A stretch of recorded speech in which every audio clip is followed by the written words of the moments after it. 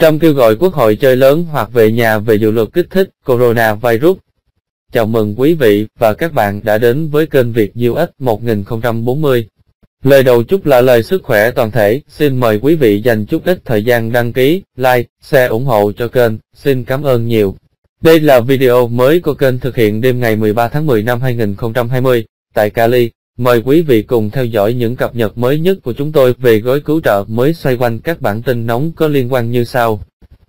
Có tin nói rằng Tổng thống Trump đang đứng giữa dòng dư luận trái nghịch nhau, một mặt ông đã nhận được sự phản đối từ các đảng viên Cộng hòa phản đối về một gói cứu trợ lớn, mặt khác là từ các đảng viên Dân Chủ, những người lại cho rằng đề xuất của Nhà Trắng không đi đủ xa. Và hôm thứ Ba 13 tháng 10 năm 2020, trong một lần nữa lên tiếng thúc giục các nhà lập pháp thông qua một dự luật cứu trợ coronavirus lớn. Ông đã nói trong Twitter hôm thứ Ba rằng Quốc hội nên chơi lớn hoặc về nhà.